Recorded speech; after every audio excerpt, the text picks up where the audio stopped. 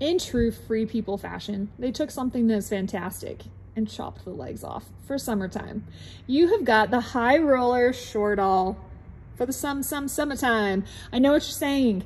It's barely even snowed here in Utah and we're already full blown summer, but summer will be here.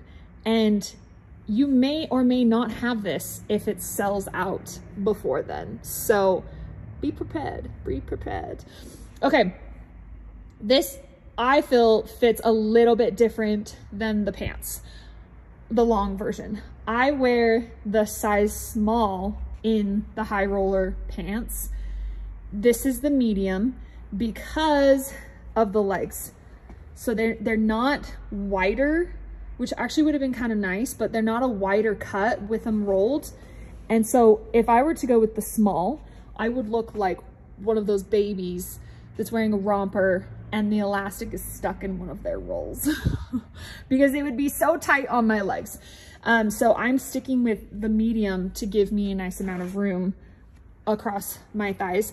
Everywhere else fits very similar, same function as the high roller pant version. And this runs from extra small to extra large.